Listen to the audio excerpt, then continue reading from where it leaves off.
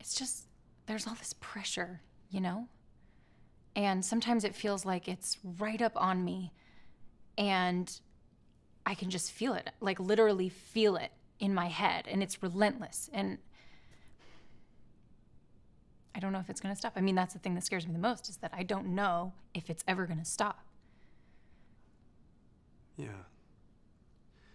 Well, you do have a nail in your head.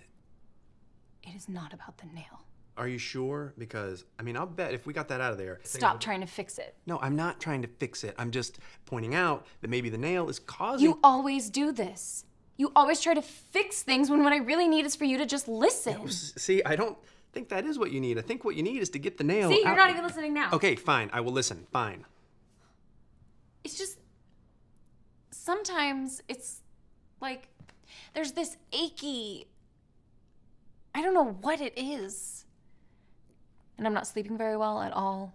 And all my sweaters are snagged. I mean, all of them.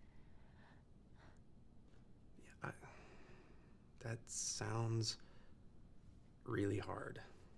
It is. Thank you. Ow! Oh, come on. If you would just. Don't Try to see things my way.